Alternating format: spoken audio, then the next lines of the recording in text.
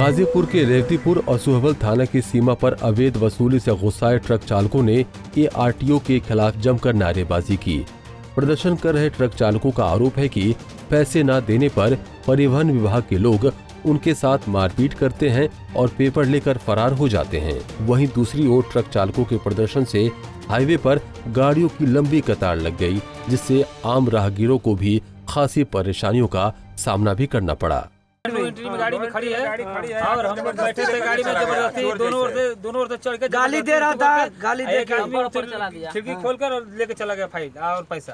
अपने मन से? लेके चला गया। गाली दे रहा था बोलने पे गाली दे रहा है। मांग रहे हैं पैसा नहीं देने पे जो ज़बरदस्ती गाड़ी या फ़ाइल लेकर जा रहे हैं। मांग रहे हैं? पैसा पाँच हज़ार से लेके दस हज़ार तक। वहीं सहायक परिवहन अधिकारी ने इन आरोपों को बेबुनियाद बताते हुए मामले से पल्ला झाड़ लिया।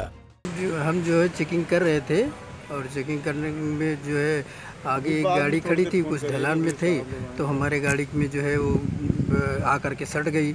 हमारी गाड़ी जो है एक तरफ़ से दब गई। जब दब गई तो हमने उस गाड़ी को निकलवाया।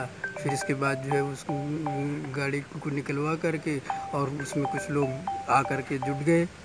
तो जुट गए तो करने मतलब आपस में जो है कुछ शोरगुल करने लगे। तो हमने जो है वो गाड़ी मोड़ करके अपना जो जिस गाड़ी का कागज़ लिए थे तो उससे कहा कि आगे आइए, हम देखते हैं। एआरटीओ द्वारा ट्रक चालकों से अवैध वसूली का ये पहला मामला नहीं है।